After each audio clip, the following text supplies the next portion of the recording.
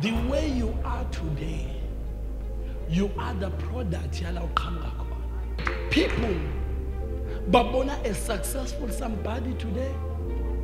Because abanye abazi ukuthi you are successful today is because yibhodwe eliphekile where you come from? Babona umuntu o-educated because where you come from ikwenze waba yile product oyiyona today.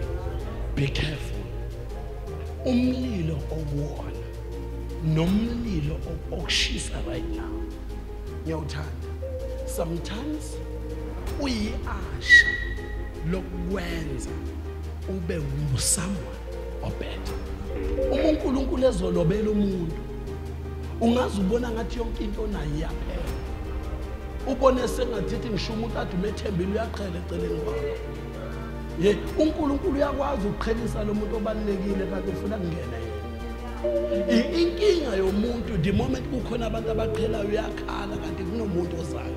Akakwazi unkulunkulu ukufika kanti kusekhona isixuku kodwa unkulunkulu uyakwazi ukufika uma isixuku sisuka ngale nkathi umuntu ezukuba loni lesala yedwa kanti unkulunkulu kunendoda ezayo esendleleni engathi iyamthanda umuntu osehluthu kweyizwe engathi unkulunkulu uyamthanda umuntu orejected.